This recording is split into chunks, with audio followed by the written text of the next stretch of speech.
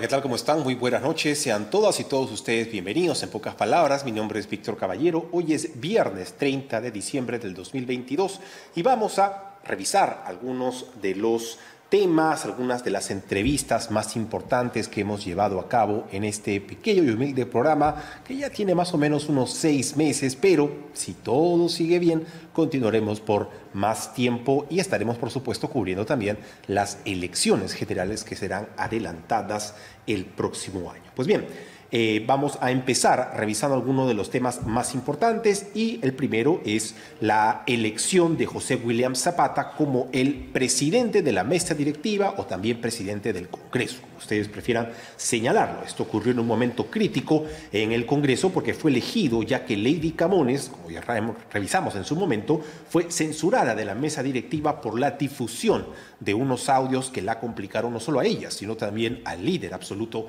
de Alianza para el Progreso, César Acuña.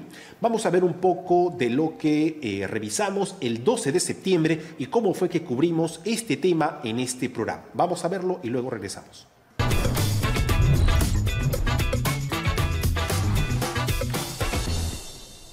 Bien, ahora sí, arrancamos con los titulares de esta noche. Tenemos varios temas por revisar y el primero, obviamente, es lo que ha sucedido en el Congreso. José Williams, José Williams Zapata, que es como más se utiliza su nombre en distintos medios de comunicación, él fue vocero de Avanza País, ha sido un militar también y hoy es el nuevo presidente del Congreso después de que se presentaran estas seis candidaturas el día de ayer. Recordemos que ayer a las 10 de la mañana, domingo 11 de septiembre, venció el plazo para poder inscribir de manera oficial estas candidaturas. Se escribieron seis, pero al final, después de varias negociaciones, aunque hubo por ahí un momento, ¿no? En el que medio que tambaleó la posibilidad de que la oposición continuara Em, tomando la presidencia del Congreso, pero como siempre, ¿no? Apareció el salvador del bloque de la oposición, llámese Vladimir Cerrón, que con su supuesta antipatía, ¿no? con su supuesta decisión de no participar, al final terminó ocasionando que la balanza se incline y favoreciendo la candidatura de José Williams. Lo revisaremos a detalle en un momento. También, ojo, hablaremos sobre esta tercera moción de vacancia presentada por Eduard Málaga, todavía no agrupado, pero en cualquier momento ya sospechamos a qué partidos se podría estar aliando. Titular número 2, a 30 años de la captura de Abimael Guzmán, ¿cómo ha cambiado la historia del país? Vamos a hablar con José Ragas, historiador, docente, investigador, y él también ha publicado, ¿no? Hace poco un libro para el Instituto de Estudios Peruanos, Los años de Fujimori, así que vamos a aprovechar a hacer un pequeño recordatorio de estos hechos históricos tan importantes que hasta el día de hoy pareciera que algunas personas ignoran o desconocen por eh, motivos simplemente que no, están, no, están, no han estado enterados y otros pareciera que lo hacen intencionalmente. Titular número 3, captura del siglo, se cumplen 30 años de la captura del sanguinario cabecilla terrorista Bimael Guzmán. Hay un especial que nos recuerda cómo fue que se produjo esta captura de un hecho histórico, ¿no? Sin muertos ni heridos, una operación de inteligencia bastante importante que terminó atrapándolo después de meses, de meses, de años de seguimientos. Y finalmente, titular número cuatro, historias bien contadas en la captura de Abimael Guzmán. Otro especial que nos va a recordar este episodio tan importante para la historia peruana.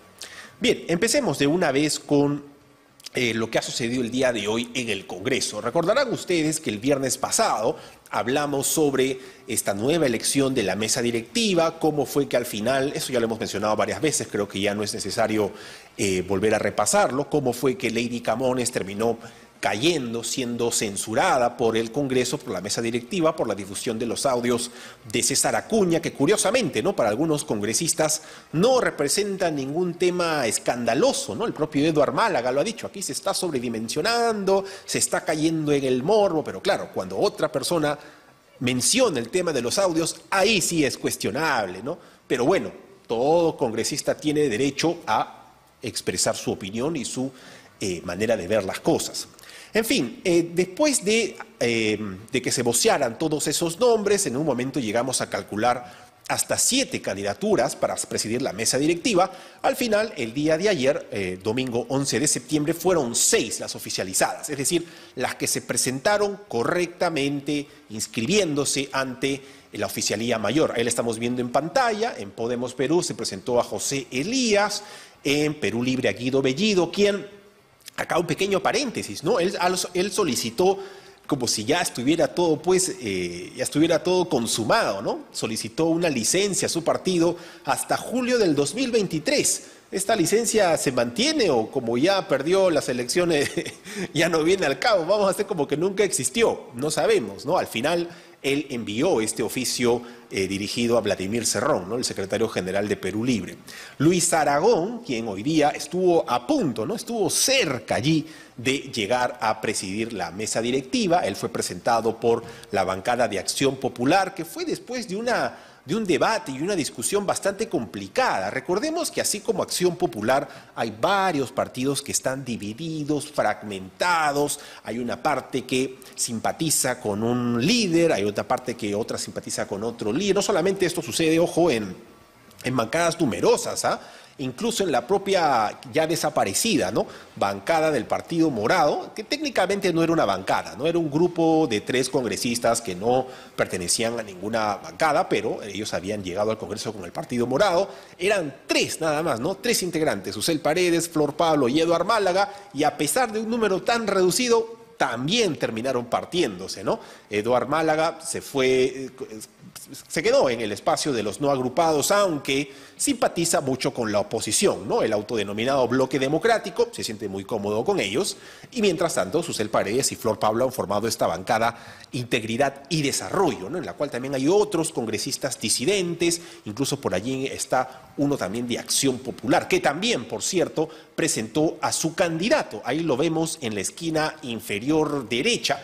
Carlos Ceballos fue la candidatura que presentó Integridad y Desarrollo, pero al final pues no terminó obteniendo una cantidad de votos significante. ¿no? También está José Balcázar, recordemos que él pertenecía, ¿no? él estuvo en la bancada de Perú Libre, luego se pasó a Perú Democrático, o Perú Bicentenario, si no me equivoco, y finalmente está José Williams de Avanza País, alguien que ha sido vocero, alguien que también ha estado eh, presidiendo la Comisión de Defensa del Congreso, y bueno, después de varios pronunciamientos, no solamente de renovación popular, en el orden, si revisamos los hechos cronológicos, empezaríamos por el pronunciamiento de Jorge Montoya. ¿no? Jorge Montoya fue el primero que se mostró a favor de la candidatura de José Williams. Es más, podríamos decir que la simpatía entre em, eh, Renovación Popular y Avanza País viene de hace muchos meses, ¿no? Pareciera que son dos bancadas que de alguna u otra manera han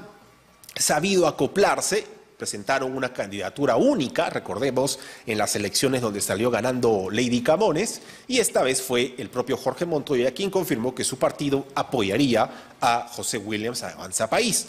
Luego vino Fuerza Popular, que publicó un comunicado en redes sociales, básicamente diciendo, fue la bancada la que publicó este comunicado, que entre otras cosas decía que iban a respaldar la candidatura de José Williams, principalmente para que no caiga en manos de la, eh, del oficialismo. ¿no? Ellos publicaron esta, este comunicado hace unos cuantos días nada más, el último fin de semana, que dice lo siguiente. Voy a leerlo en este momento. Esto fue publicado el 11, el 11, ayer domingo 11. Fuerza Popular apoyará la candidatura del general José William Zapata. La bancada de Fuerza Popular adoptando adoptado la decisión de apoyar la candidatura del congresista y ex miembro Comando Chavín de Huántar, general William Zapata, para la presidencia del Congreso de la República. Esta decisión se efectúa una vez más cumpliendo con el compromiso de evitar que el poder legislativo caiga en manos del gobierno de turno. Es decir, no votamos porque te consideremos la mejor opción, sino para que no gane el otro. Al menos eso es lo que se entiende. De repente está ahí, hay un error de redacción, pero eso es lo que cualquier persona podría interpretar. El mismo que no ha demostrado capacidad alguna para atención de la necesidad de millones de peruanos. Esperamos que al igual que la conformación de las dos mesas directivas anteriores, esta vez también se consiga el apoyo necesario de las demás bancadas para lograrlo. Ojo, este fue un pedido que hizo Fuerza Popular cuando todavía no se sabía qué iba a pasar. No se sabía si es que al final iban a eh, las negociaciones iban a llevar a cabo de manera exitosa, si es que iban a finalmente optar por una sola candidatura. Y después, ayer también por la noche, ayer más o menos a las 8 eh, de la noche, fue que la bancada de Alianza para el Progreso, nuevamente, la tercera bancada que salía a pronunciarse a favor de la candidatura de José Williams, también publicó un comunicado en redes que dice lo siguiente.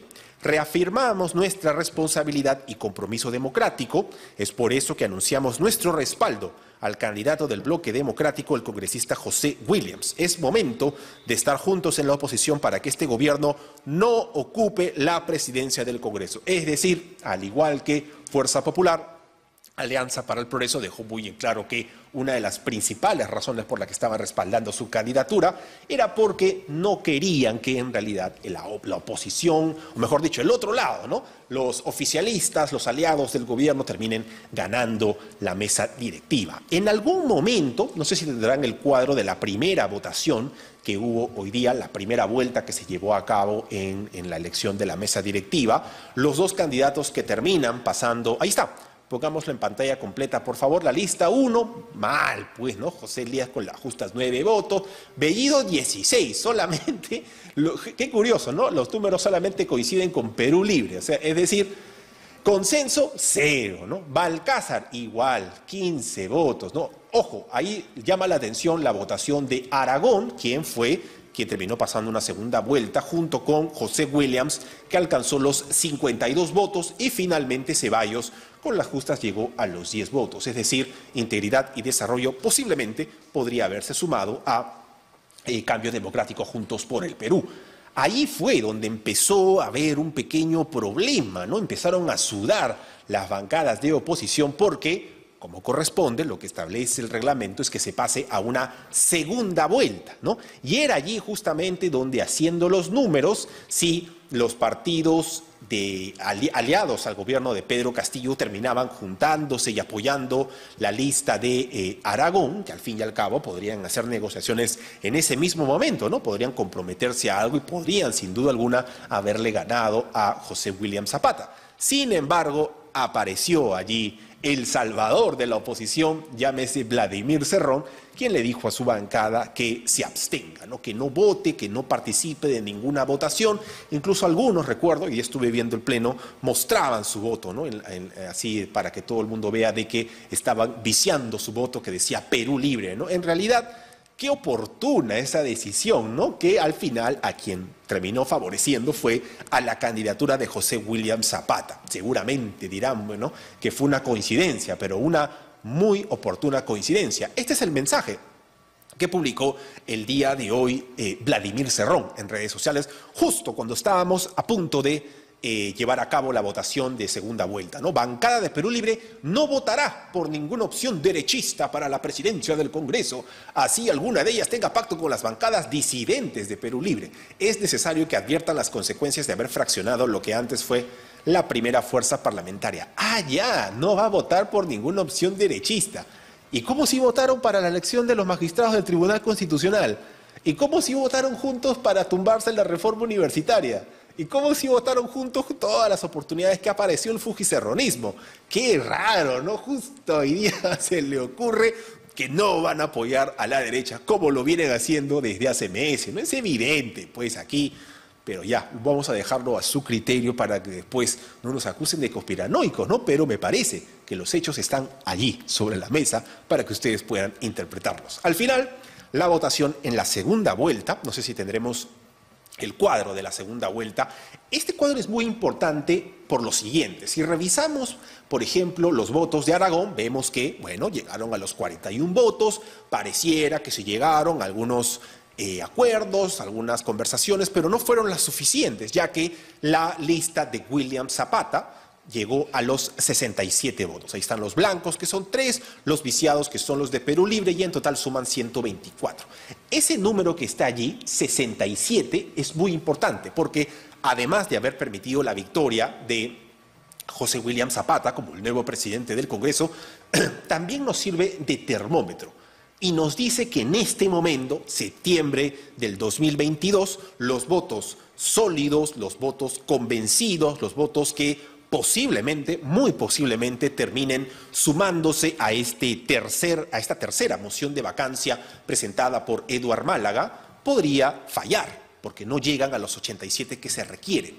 Es por eso que todavía insisten ¿no? con estas medidas de lo, en una opinión personal, ¿no? Totalmente absurdas, ¿no? Por allí hay eh, un proyecto de ley presentado por Avanza País que se supone que forma parte de esta reforma política, entre comillas, que se tiene que llevar a cabo antes de eh, vacar al presidente Pedro Castillo. Ustedes saben que hay un grupo de la oposición que se resiste, se niega, no quiere aprobar de ninguna manera el adelanto de elecciones, porque según ellos, bueno, a veces dan algunas excusas que para ellos son convincentes, ¿no? Como por ejemplo la que dice Adriana Tudela, que eso exime de la responsabilidad a Pedro Castillo, ¿no? Cuando en realidad él es el único responsable de la crisis. Bueno, hay una encuesta de CPI que les da 6.7% de aprobación.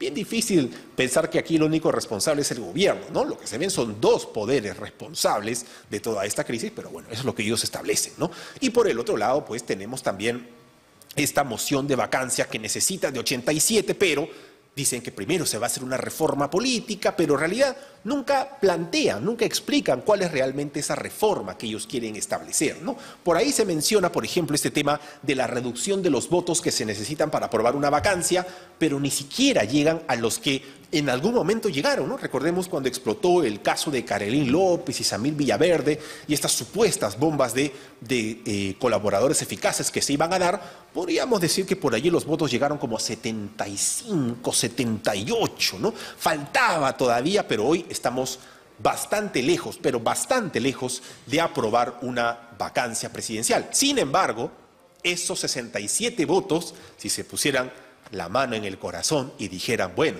hemos fracasado como legisladores, hemos fracasado como fiscalizadores y como padres de la patria, tranquilamente están los votos necesarios para aprobar el adelanto de elecciones, que se requieren 66. Es más, tienen allí uno extra todavía. En caso por ahí alguien se desanime, tienen uno de reserva, ¿no? Pero, por supuesto, está totalmente descartado que quieran aprobar el adelanto de elecciones porque única y exclusivamente va en contra de sus intereses. Vamos a una pequeña pausa y regresamos con más.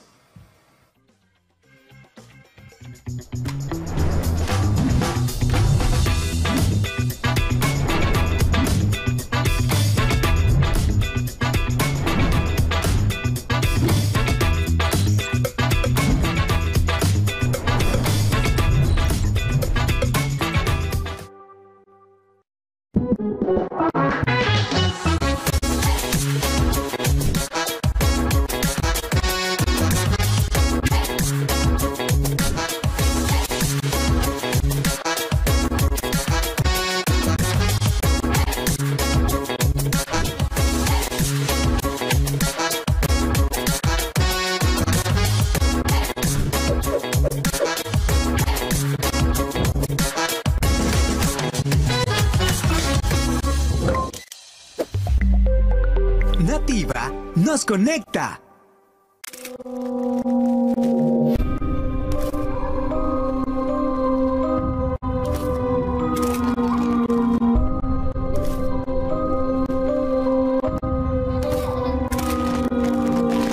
Lo paranormal nos conecta.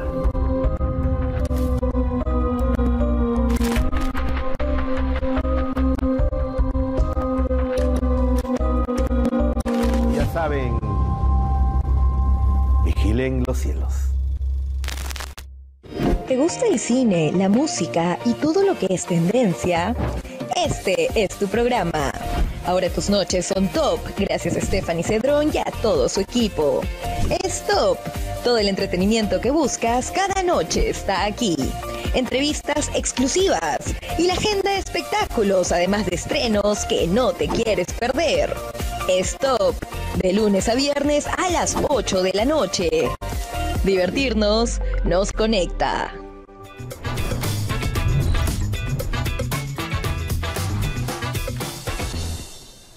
Hola, ¿qué tal? Muy buenas noches. Sean todas y todos ustedes bienvenidos de vuelta. En pocas palabras, mi nombre es Víctor Caballero. Vamos a continuar reviviendo, repasando algunos de los momentos más importantes de este año. Ojo, hay algo muy importante que no puede pasar desapercibido. Muchos de los casos que hemos revisado, analizado, discutido, observado a detalle este año definitivamente van a marcar la agenda del próximo. Ahí está el Congreso, por ejemplo, que aprobó en primera votación el adelanto de elecciones, está la vacancia y el intento de golpe de Estado de Pedro Castillo y justamente sobre este punto en particular un tema importantísimo que sin duda va a seguir generando todo tipo de análisis y controversias, pero más importante aún, las manifestaciones que continúan y que todo apunta, al menos hay algunas declaraciones que se han llevado a cabo en los últimos días, van a continuar los primeros días de enero del 2023.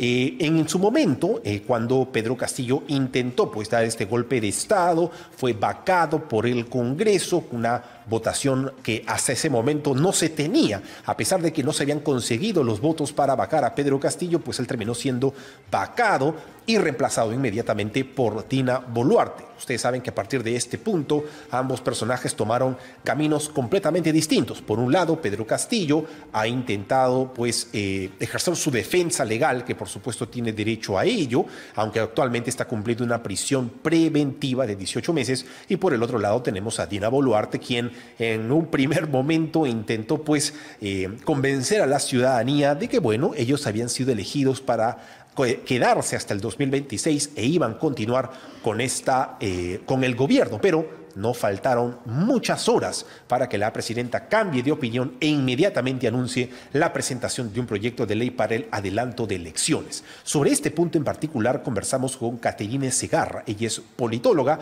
y sus intervenciones y análisis fueron muy interesantes. Vamos a verlas.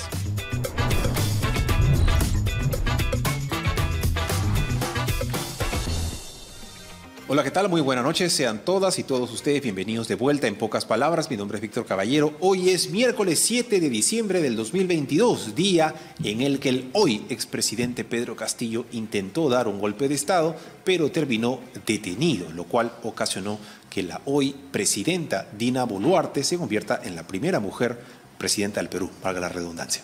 Para hablar sobre este tema, ya lo hemos comentado, hemos comentado un poco los temas constitucionales hace un momento, pero en este bloque vamos a profundizar en el aspecto político. Y para hablar sobre ello, estamos con la politóloga Caterine Segarra. Buenas noches, Caterine, ¿cómo estás?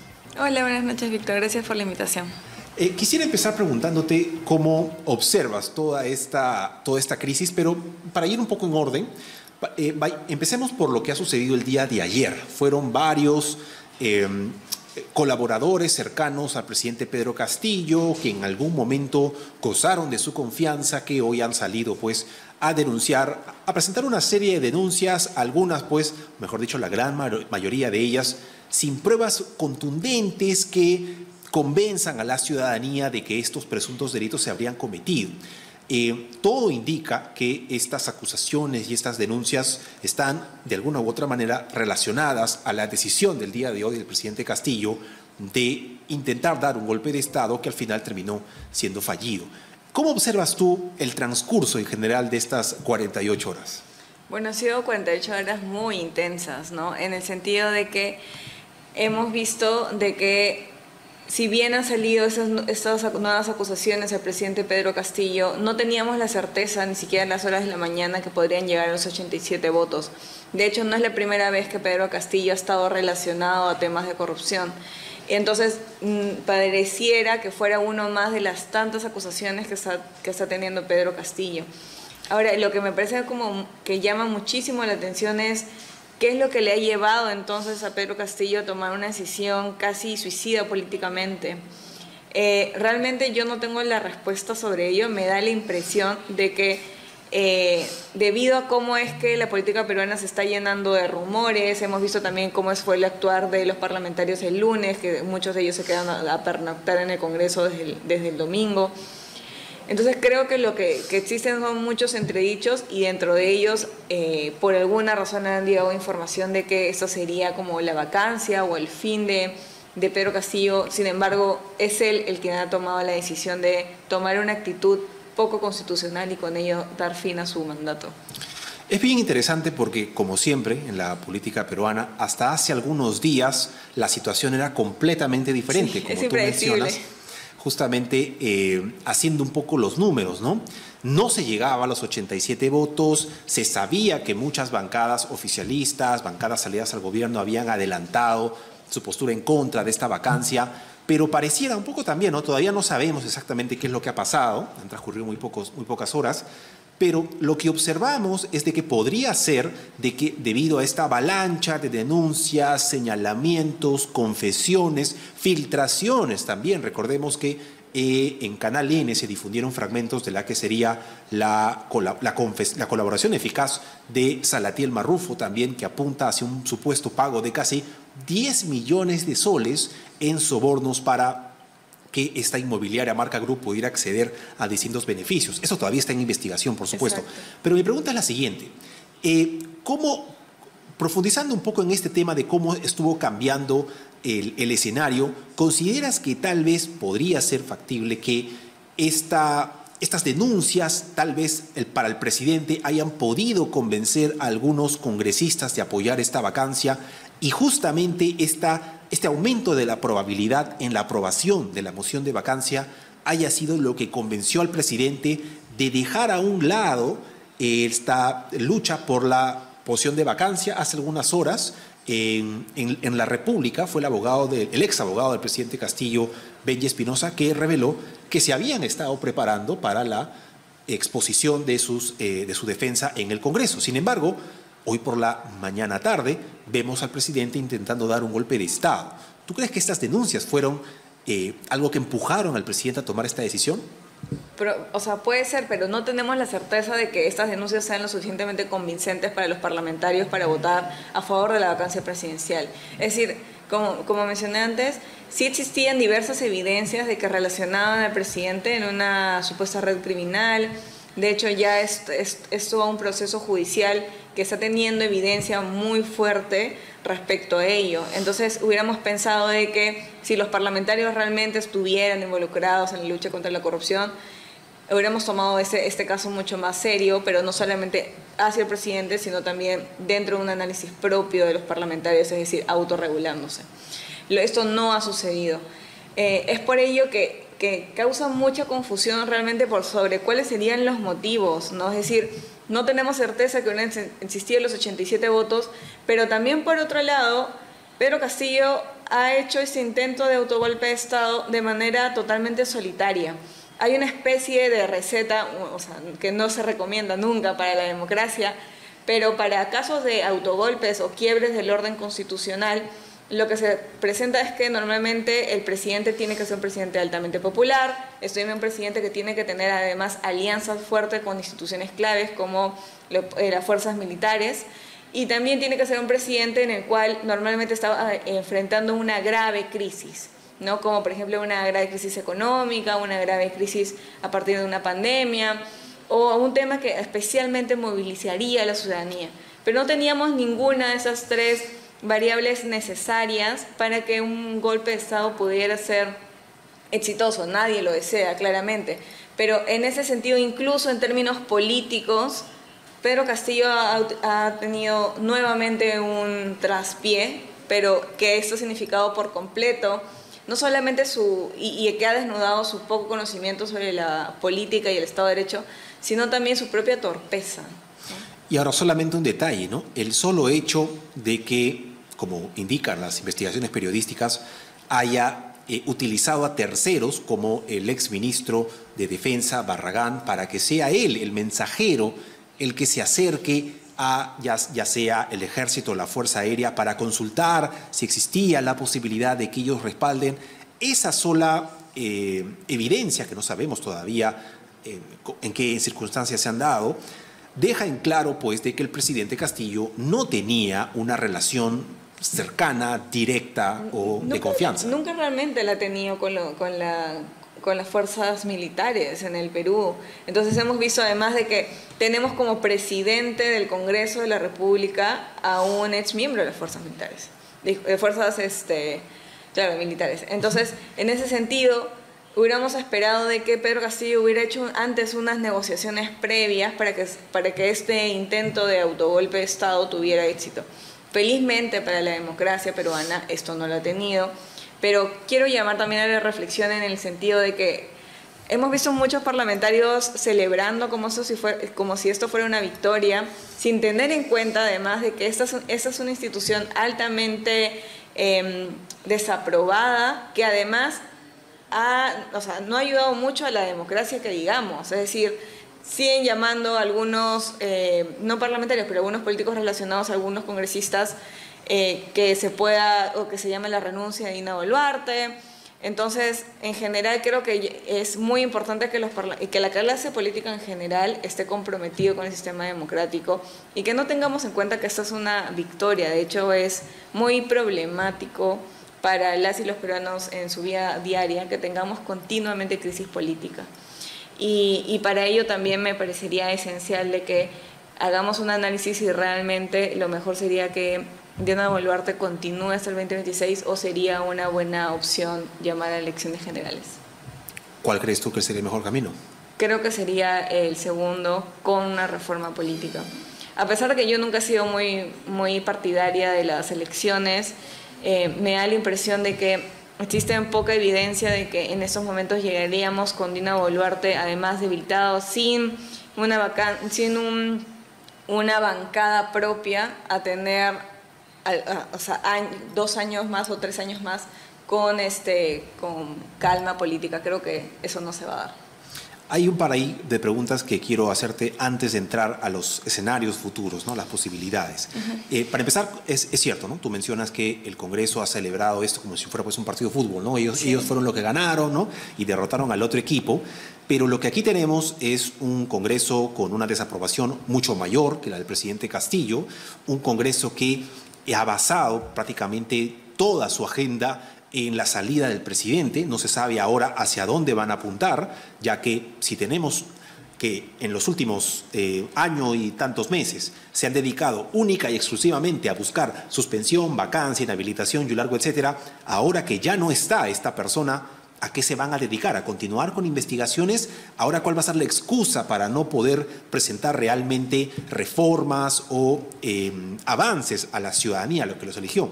Sin embargo, eh, también tenemos pues a una Dina Boluarte sola, sin bancada, que se parece un poco a también como si se estuviera repitiendo la historia con Vizcarra, ¿no? Tenemos una presidenta que eh, hoy día ha generado cierta eh, emoción en algunos, ¿no? porque sea como si es una figura nueva, técnicamente limpia, que acaba de mandarse el archivo su investigación, pero está sola. Perú Libre hace algunos días nada más la llamó traidora por cuando se archivó la, denuncia en la subcomisión.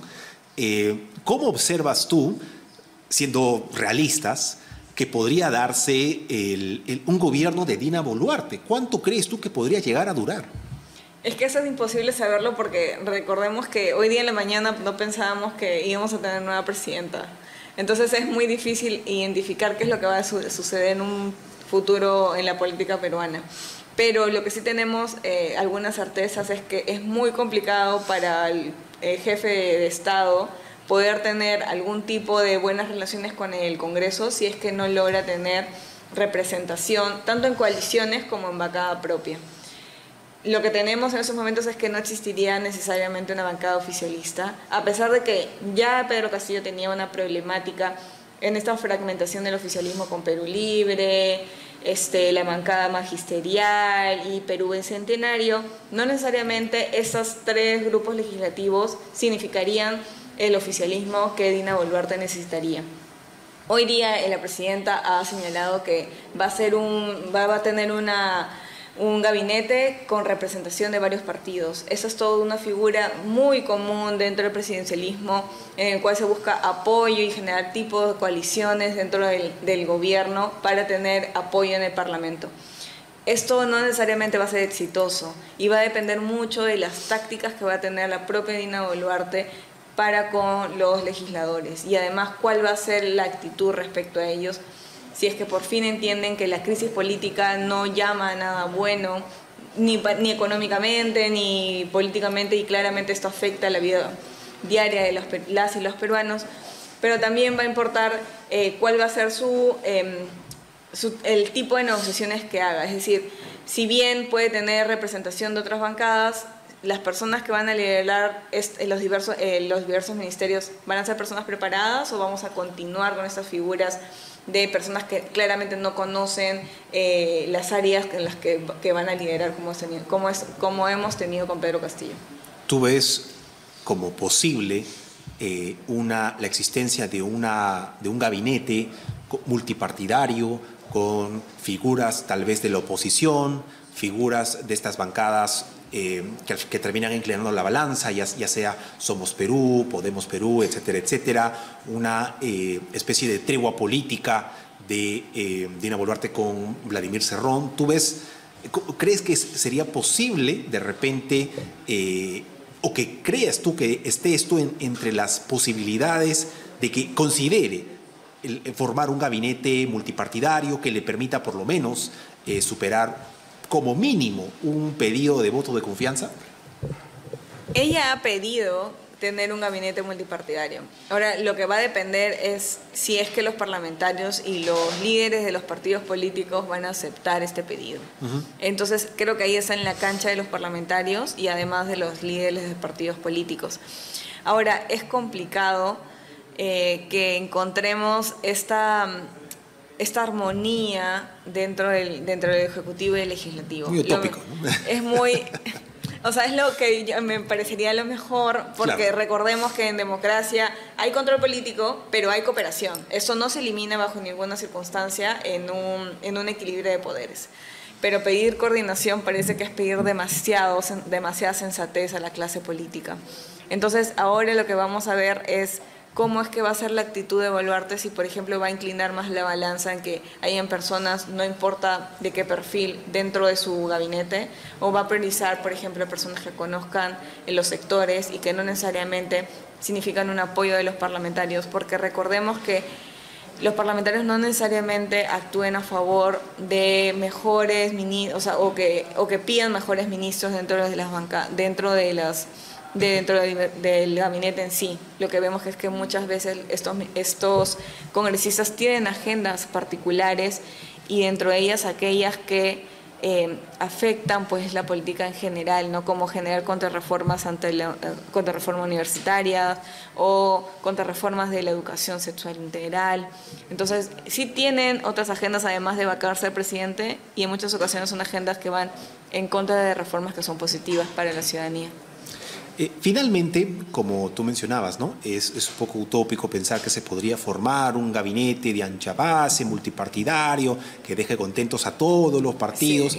es una situación un poco, y sería lo ideal, pero es muy difícil que se llegue a eso. Eh, pero lo que yo veo, me gustaría ver si estás de acuerdo o en contra, lo que yo veo también un poco es una encrucijada, ¿no? Porque por un lado tenemos a un Congreso que evidentemente lo más conveniente para ellos es quedarse hasta el 2026, no solamente por un tema de eh, sueldos, un tema de eh, eh, beneficios, sino también porque ante un eventual adelanto de elecciones, muchos de estos partidos podrían perder sus inscripciones, empezando principalmente por Perú Libre. pero por el otro lado, también tenemos un Congreso que, cuya identidad, su única identidad, ha sido la de oposición. No se ha visto en ningún momento un intento de diálogo, ni siquiera en los primeros días. Si volvemos a agosto del 2021, Pedro Castillo tiene creo que una o dos semanas en el gobierno, ya se estaban realizando distintos cuestionamientos, denuncias, em, empezando por ejemplo por las primeras reuniones en la Casa del Pasaje Zarratea. Entonces, por un lado tenemos un Congreso al que le conviene quedarse, le conviene que Dina Boluarte continúe hasta el 2026, pero por el otro lado tenemos a un Congreso que tampoco puede, eh, no, no, se observa que sea posible generar una especie de tregua, de acuerdo, porque se quedarían sin su única identidad, que es la de ser de oposición, ya se quedaron sin enemigo. ¿Cuál camino tú crees, al final, siendo un poco realistas, cuál podría ser el que ellos terminen siguiendo? A ver, vamos a ver, primero podemos ir por las características de nuestro Parlamento. En primer lugar, tenemos a congresistas que tienen una mirada muy cortoplacista. ¿Por qué? Porque está prohibida la reelección eh, inmediata. Entonces, en ese sentido, ellos saben de que se acaba estos, eh, hasta el 2026 máximo, tienen todo su periodo de parlamentario y de ahí no pueden continuar. Entonces, si hay este gran eh, parada de cinco años en los cuales no pueden reelegirse, tienen una poca mirada hacia el futuro. ¿no? Entonces, por eso mencionaba, son muy cortoplacistas y con ello también le genera mayor irresponsabilidad. ¿no? Entonces pueden ser mucho más arriesgados en lugar de sensatos. Por otro lado, la identidad también del Congreso es heterogénea porque tenemos un Congreso fragmentado. Sí, hay un grupo de parlamentarios que son la oposición desde el día uno, que se va a poner probablemente a Dina Boluarte en muy poco tiempo, pero recordemos esta heterogeneidad dentro del legislativo. Hay, este, hay eh, parlamentarios que tienden a ser mucho más pragmáticos, eh, y hay otros que están altamente ideologizados. Creo que con quien le conviene actuar eh, a Dina Boluarte es con estas, estas bancadas mucho más pragmáticas, en lugar de decirles de centro, porque realmente no es que sean de centro, sino son políticos mucho más este, prácticos con los que puedes negociar algunos temas en particular. Entonces, pero eso es suficiente para mantenerse hasta el 2026 no se sabe. Realmente va a, ser, va a depender mucho de la autorregulación que los propios parlamentarios tengan y ese poco énfasis de autodestrucción, porque pareciese que esa fue una característica de todos los políticos en el Perú. Finalmente, ¿podrías eh, contarnos un poco de este proyecto que has iniciado, que es Madres de la Política, si no me equivoco? Madres de la Patria. Madres de la Patria, coméntalo, sí, por favor. Eh, gracias más bien por, por comentarlo. A ver, Madres de la Patria es un, es un programa muy cortito de seis episodios, en que el día lunes ha salido su segundo episodio, en donde hablamos sobre la importancia de tener un Congreso. Sé que es un mal timing porque además muchos ciudadanos y ciudadanas detestan a los parlamentarios, pero yo quisiera invitarlos a, a, mirar el Congreso mucho más allá de los políticos, sino como la institución. Eh, una figura como la disolución del Congreso que tiende a ser muy apoyada, creo que es muy peligrosa si es que continúa perpetuándose el apoyo de los, de los presidentes hacia, una, hacia el hacia el cierre del Parlamento. Entonces, eh, en, ese, en Madres de la Patria, que, que, se, que pueden encontrarlo en YouTube o en todas las redes, este, podríamos, eh, identificamos ahí cuáles son las funciones pues, del Parlamento. Madres de la Patria está en YouTube, son seis episodios. Son seis episodios ya disponibles para que ustedes lo puedan ver. Muchas gracias. Ha sido Caterine Segarra, politóloga, a quien esperamos tener de vuelta muy pronto. Perdón, está en las redes de la factoría. Me había olvidado. Las redes de la factoría.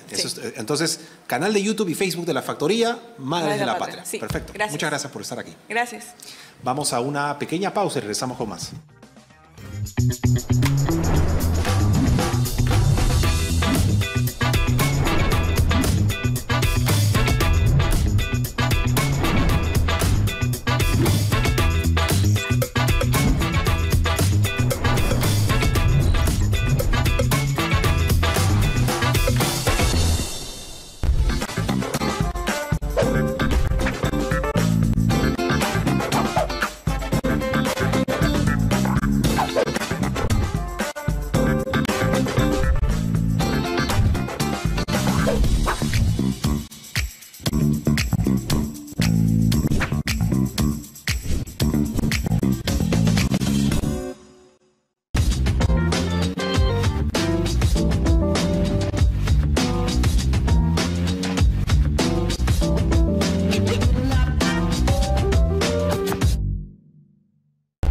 Conecta.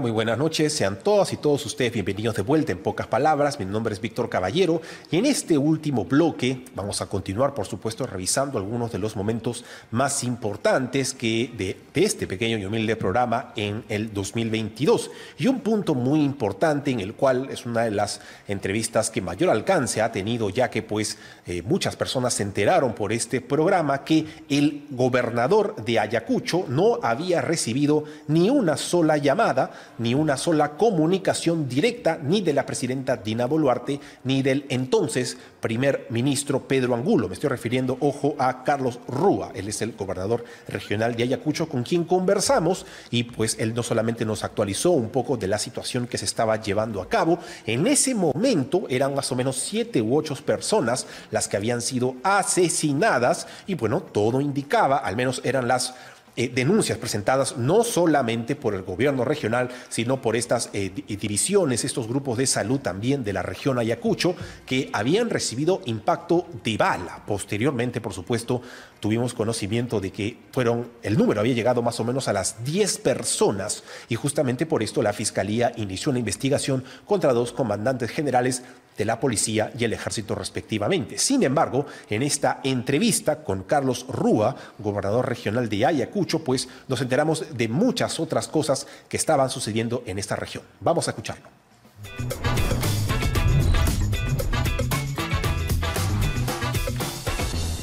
Hola, ¿qué tal? Muy buenas noches. Sean todas y todos ustedes bienvenidos de vuelta. En pocas palabras, mi nombre es Víctor Caballero. La situación en la región Ayacucho es sumamente grave. Hace unos minutos, la Direza ha publicado un mensaje, un comunicado, perdón, señalando que se ha elevado a 13 los heridos y dos los fallecidos en enfrentamientos en esta región con la policía. Para poder saber qué es exactamente lo que ha pasado, estamos comunicados en vivo y en directo con el gobernador regional de Ayacucho, Carlos Rúa Carvajal. Buenas noches, gobernador. Gracias por la oportunidad. Muchas gracias por estar aquí. Cuéntenos, por favor, cuál es la situación en este momento. Eh, Víctor, estamos pasando un momento muy complicado aquí en Ayacucho. En estos momentos tenemos ya cinco fallecidos y más de 40 heridos. Es lamentable por una decisión que el Ejecutivo ha decretado esta situación de emergencia pueda recibir eh, prácticamente la población en este caso la reacción del, del, Ejército y la Policía Nacional ocasionando la muerte de estas personas. En ese sentido, yo creo que es momento oportuno para que el Ejecutivo Nacional se ponga a pensar en el pueblo que realmente eh, se encuentra eh, reclamando estos derechos a fin de que se pueda escuchar y de, de alguna manera poner a la tranquilidad a la población. Toda vez que en estos momentos nos encontramos prácticamente en un enfrentamiento y ya tenemos ese saldo de eh, estos fallecidos y esto se va incrementando cada momento que pasa. Nuestro hospital regional y las postas de salud, las ambulancias y nuestro personal están trabajando, pero lamentablemente se vuelve incontrolable en estos momentos. Eh, gobernador, con respecto a la comunicación que se ha venido eh, señalando desde el gobierno central, ¿usted ha recibido llamadas de la presidenta Dina Boluarte, llamadas del premier Pedro Angulo? Jamás, ni una llamada de parte de la presidenta, mucho menos del premier. Ese es el tema que tenemos. A veces un mal mensaje que llega a la población genera este tipo de reacciones. La verdad que en esta situación responsabilizamos al Ejecutivo y también al Congreso de la República por nuestros fallecidos acá en Ayacucho y por las cantidad de heridos que tenemos en estos momentos. Tenemos que eh, calmar. El señor ministro de Defensa tiene que comunicar a los miembros del ejército peruano acá en Ayacucho a fin de que no disparen. Necesitamos que se calmen eh, realmente aquí en Ayacucho. No podemos seguir teniendo más muertos. En ese sentido pido al ministro de Interior, al ministro de Defensa, que tomen la acción inmediata de cesar los disparos acá en Ayacucho. Gobernador, hace un momento la Direza ha publicado un comunicado señalando que los muertos son cuatro y los, eh, los heridos, perdón, 39. Eh, usted me comenta que son cinco personas las que han fallecido. Eh, ¿Podría comentarnos un poco este respecto a estas cifras? Sí. Hasta este momento tenemos más de cinco. Más de cinco. Hay 40 heridos. Eso solamente en el hospital regional y hay heridos que están todavía en las calles, entonces no podemos permitir. Yo pido de una vez por todas que cese los disparos por favor acá en la ciudad de Huamanga. No podemos permitir que nuestra gente siga muriendo. Necesitamos que la señora presidenta Dina Boluarte pueda tomar la mejor decisión en favor de la población. Asimismo también los ministros de Defensa e Interior a quienes realmente los responsabilizamos en estos momentos de la muerte de nuestros, de nuestros pobladores acá en Ayacucho. Eh, gobernador, es sumamente grave lo que usted menciona con respecto a que no ha recibido ninguna llamada ni de la presidenta Boluarte ni del premier Pedro Angulo. Eh, ¿Usted ha recibido algún tipo de comunicación, no de, repente no directamente, pero le han enviado un mensaje, algo para eh, convocar a un diálogo hasta el momento? No, diálogo absolutamente ninguno de los mencionados no nos han comunicado. Hemos tenido mayormente la comunicación del sector salud para ver el tema de los heridos, eh, que hemos estado apoyando también a los, a los heridos que llegaban de Apurímac, pero por lo demás, eh, eh, alguna comunicación de parte del sector de cultura del señor ministro que también en horas de la mañana me llamó, pero después no ha habido ninguna comunicación. Y finalmente, gobernador, eh, hace un momento se ha decretado un toque de queda y en, un listado de regiones en las que se incluye Ayacucho. ¿Usted considera que esta es una medida acertada o contraproducente? Yo creo que estamos tomando decisiones inadecuadas. Dijeron hace unos días, el gobernador electo dijo de que Ayacucho estaba controlado y también eh, el señor premier dijo que iban a controlar a través de una situación de emergencia lamentablemente tenemos la reacción de la población y ese es el saldo que tenemos nuestros muertos y heridos. Y eso no podemos permitir. Tenemos que ser responsables en nuestros mensajes que damos a la población. Lamentablemente Ayacucho, después de los años 80 y 90, hemos tenido muchos desaparecidos y ahora estamos justamente realmente en estas circunstancias. Yo pido a fin de que la señora Dina Boluarte evalúe y dé un mensaje de tranquilidad a la población ayacuchana. Yo creo que hoy en día necesitamos que eh, retorne la pacificación o en todo caso la paz a fin de de esta manera también respetar los derechos humanos. Eh, finalmente, gobernador, hace unas horas hemos visto, hemos sido testigos del debate que se ha llevado a cabo en el Congreso por el proyecto de adelanto de elecciones y también hemos escuchado a muchos congresistas que consideran que primero debería realizarse una reforma política. Eh, ¿Usted considera, está de acuerdo con la postura del Congreso? ¿Cree que se deben adelantar las elecciones lo más pronto posible o tiene alguna otra postura? Lo que hoy en día, en estos momentos necesitamos que el Congreso y el Ejecutivo den un mensaje de tranquilidad a la población. Mientras dure todo el proceso de discusión, lamentablemente vamos a tener más muertos. ¿Cuánto más vamos a esperar? Sé que reformas se puede hacer, pero cuando hay voluntad política los tiempos se pueden cortar. Para salvar vidas yo creo que es necesario tomar algunas decisiones que vayan a la tranquilidad de la población. En estos momentos el Congreso tiene esa responsabilidad, el Ejecutivo también tiene esa responsabilidad a fin de tomar las decisiones más adecuadas. Y yo creo que la población está exigiendo, ellos están, saben qué es lo que pide la población. Yo creo que las autoridades electas tenemos que ser responsables de nuestros actos y tenemos que dar cara ante estas situaciones que estamos pasando. No podemos permitir más muertes. Yo sé que esta situación, si se alarga, ¿cuántos muertos vamos a tener en Apurímac, en Ayacucho, en Cusco, en otras regiones? Yo creo que es momento oportuno para que el Ejecutivo y el Congreso tomen de alguna manera estas eh, preocupaciones que tiene la población y sobre esa base las reformas y también el tiempo más breve posible para lo que es el tema de adelanto de elecciones eh, que corresponde prácticamente a 2023. Muchas gracias. Ha sido el gobernador regional de Ayacucho, Carlos Rúa, quien ha tenido la inmensa amabilidad de estar con nosotros esta noche. Muchas gracias. Una vez más, pido también una calma a la población ayacuchana, a nuestros hermanos, a fin de que puedan tomar sus precauciones en estos momentos tan difíciles que nos tocó vivir. Así que pido a mi, a mi pueblo a fin de que puedan también eh, eh, cuidar su integridad física, a fin de que puedan de alguna manera replegarse a sus domicilios y de esta manera eh, realmente evitar recibir lo que en estos momentos hemos están recibiendo prácticamente las balas y esto ha originado la muerte de muchas personas y en este momento tenemos muchos heridos. Muchas gracias. Muchas gracias. Buenas noches.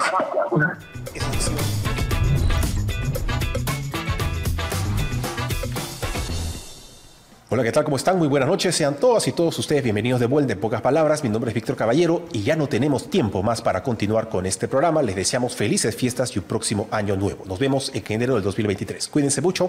Chao, chao.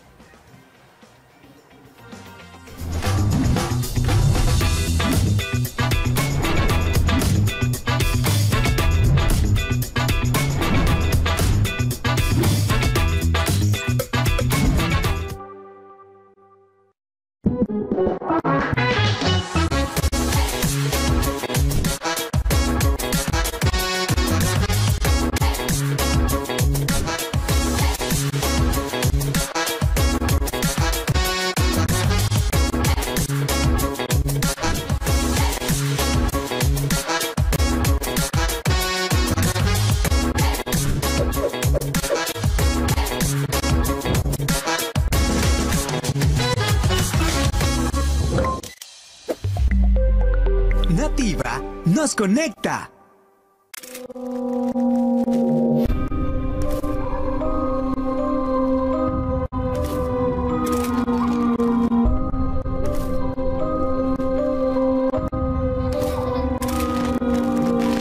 Lo paranormal nos conecta.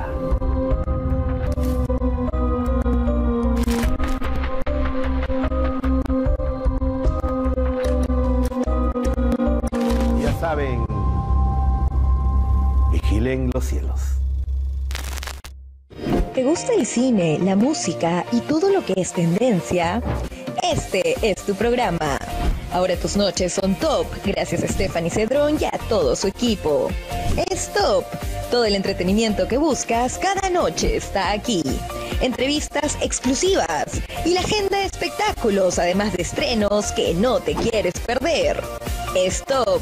De lunes a viernes a las 8 de la noche. Divertirnos nos conecta.